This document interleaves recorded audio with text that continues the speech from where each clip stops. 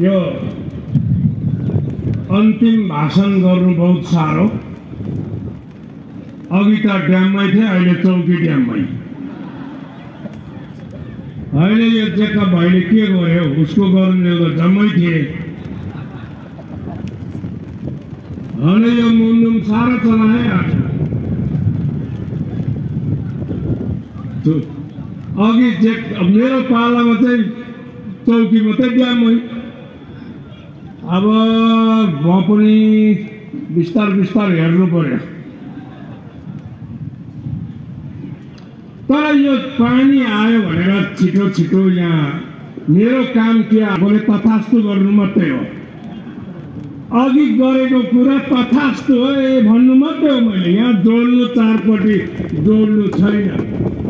विकासको कुरा कम्ती भएन। अझै छोड्नुभयो उहाँले। रोड कम्ती खनेको छैन। यो छुट्टाछिन क्षेत्रमा। र पनि जे जसो होस् कनी कुथी जानी नजाने एक दुईवटा शब्द बोलेर म पनि जान्छु। र म नाम कसैको लिन्न। यहाँ डाइसमा हुनुहुने अब सबभन्दा ठुलो म मलाई ठुलो बनाएपछि मैले सबैलाई एकैचोटि भनेपछि मान्नु पर्यो नि। जेकब भाइले पनि मान्नु पर्यो र मेरा अग्रजपन्थी जति पनि डाइसमा हुनुहुने सबै सबैलाई नमन गर्दै यो मेरा अति आदरणीय छुटाचिनका जिल्ला पञ्चायत पञ्चायतगण अनि महानुभाव सबै सबैलाई नमन गर्दै तपाईँहरूले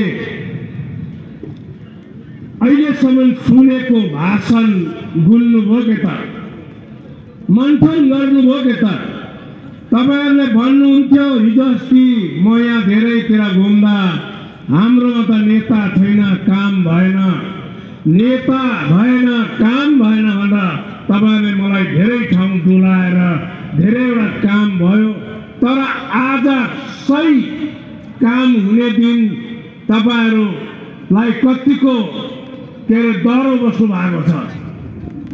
तपाईँहरूले अस्तिसम्म हिजोसम्म छुचाचिनको जनताले सिधा कुरा हो। तपाईँहरूको मायाले मलाई म पनि आएर छुचाचिनमा धेरै यो गरेँ त्यो गरेँ भन्दिनँ। जति सक्दो काम यहाँ हाम्रो जेकब भाइले भनिसक्नु भएको छ अनि पञ्चायतहरूको मन मनमा छ जनताको मनमा छ। कि मैले पनि छुट्टाचिनमा गएर अनि यहाँ आएर कतिवटा स्कुल आज उहाँ समाजघर अनि त्रिवेणी सेन्टर जति भन्नुभयो पच्चिस वर्षमा नभएको काम आज यो चार वर्षमा बनिँदो रहेछ त। यस बनिँदो रहेछ त। पच्चिस अनि अहिले पनि चिन्हमा म त सिधा मान्छे सिधा कुरा गर्छु। म पनि म जान्दिनँ। तपाईँहरू अझै रेली लगाइबस्नुहुन्छ हाम्रो सरकारलाई सरकारले गरेको काममा गरिब जनतालाई अल्मल्याउनुहुन्छ भने चौबिसमा तपाईँहरूले जिम्मा लिनु तपाईँहरूले एक्लै जित्नेवाला छैन। आजबाट सङ्केत भएको छ। यो मिटिङ हुँदा हुँदै पानी पनि पर्यो यहाँ बि आयो अमृत पनि आयो। चौबिसमा अब जो आउँछ टेबल ल्याम्प लिएर त्यसले पक्का जित्छ भन्ने मैले ग्यारेन्टी दिइहालेँ। म ठुलो कुरा गर्दिनँ। मैले यहाँ कति यहाँ पञ्चायतहरूको मनमनमा छ। कतिवटा काम मैले फोन गरेर डिपिआर बनाएर भर्खर आज धमाधम काम भइरहेछ।